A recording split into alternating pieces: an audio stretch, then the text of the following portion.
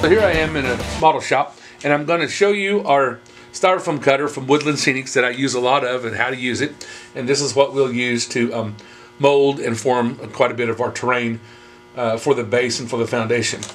Uh, this a, it's a Woodland Scenics ST1435 hot wire foam cutter. I love these, they're great. Um, I use them up and they last quite a while. If you're doing simple model crafts, uh, they work wonderful. If you're doing something more industrial, you need a, a larger hot wire tool. So it comes with uh, two different armature arrangements. One is the full armature arrangement, and they just simply unscrew for the tension screw. So I said simply, there it goes, and lifts out. And then this is what I just referred to as the half armature. And we simply slide it in and tighten it down. So your span is shorter, it's half the distance, and you can get in for tighter cuts on your foam. I personally like the wider full armature spread. Uh, that's just what I use. It's what I'm familiar with. You may like both. You might like one or the other. So I encourage you to figure out which one you like and use the foam out of it. Okay, when you put your armatures in, make sure they're all the way down and that they're tight. And you want to just get them kind of tense because when you put your wire across the top, you'll go ahead and tighten it down and then they will actually uh, spread out a little more and put more tension on your filament wire. Okay, here are our keepers that go on the end of our armature. I already have mine loaded with wire for um, the sake of this video. You simply go in through the middle eyelet and up or down through the outer eyelets on the on the edge of the keepers and then you just simply twist it off. I would not um, I would just twist it so it just has a friction catch I would not give a lot of effort into tying nice knots and things because as this wire gets hot and pulled and used, it will break. Uh, the best thing I can tell you when you purchase this tool is absolutely purchase two or three extra packages of filament wire. All right, the keepers go right over the end. It's grooved. Get your lock screw right in line with the groove and it should bite right in. Align both sides.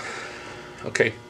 I have a little more wire. I'm not exactly taut. You see, I'm I've got some flexibility, and I like that because the flexibility, a taut wire will cut will cut a different pattern than a flexible wire.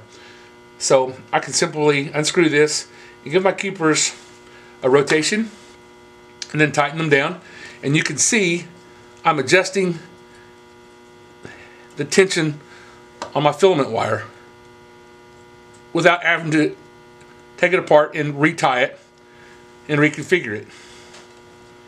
All right. Now, I would give these, usually finger tight works. Uh, sometimes I need a little love from a screwdriver. It helps them hold in place.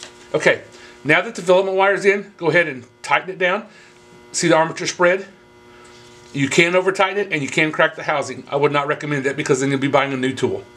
Now, as long as your armature is down deep and it's making contact with the element, this will work. If your armature is too high and not making contact, whenever you push the button, the wire will not heat up.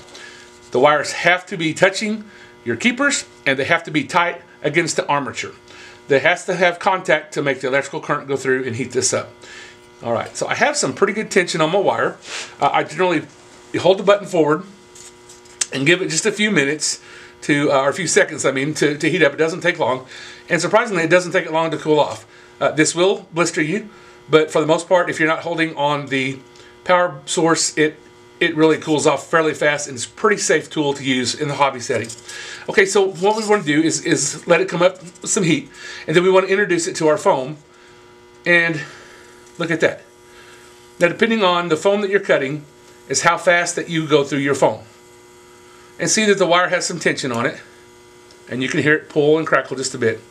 And I don't mind a little tension, but when I come to the end, I'm going to let off the tension and let it pull through slowly. See how slowly I let it exit? Um, the one thing I've learned is when you keep tension on the wire and you pull through the foam and it pops out like a fiddle string, that's when you break your filament wire. And then you have to stop your whole project and reload your filament. I just out of habit, I'm tightening that and you can already see that um, it's already, it has already cooled off. So um, now the direction that you hold your filament wire is going to give you the difference in your cut. See, I can lay it back and give it an angle, or I can go straight up and down. I can bring it forward and give it a reverse angle, or again go straight up and down. Roll it back in for a crevice, or lay it back. And again, I'm coming to the end, I let off and pull through slowly. And there's a really cool uh, face for a rock or a rock front or any kind of landscape scenery. So I'll show you this again real quick on um, more full block of styrofoam. We'll just put it in, then I rotate the wire to the direction I want my cut. And I can follow the line. In this case, I'm making my own. I come to the end, I ease off and let it pull through, just let it melt through, let it fall off. And that's really kind of cool. Um, what you'll find is the more that you pull the wire and the more that you do your hot foam cuts, the more that you'll come to your own style that you like, and that will be your signature to your project.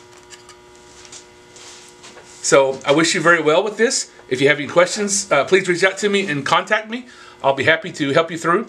Uh, we do keep these tools in our store at Katydids and Grasshoppers. And so, and we keep extra wire. Uh, we keep foam and foam products and foam glue. So in the next step, uh, this has been pretty simple how to set up your uh, hot wire tool and how to cut with it. So in the next step, what we're going to do is I'm going to actually set out a small piece and we're going to make a small tunnel and N scale. Uh, and that way you'll kind of see how we, or I build and start sculpting it from uh, start to finish off of a piece of ply, wood, and some, some foam. Thank you very much.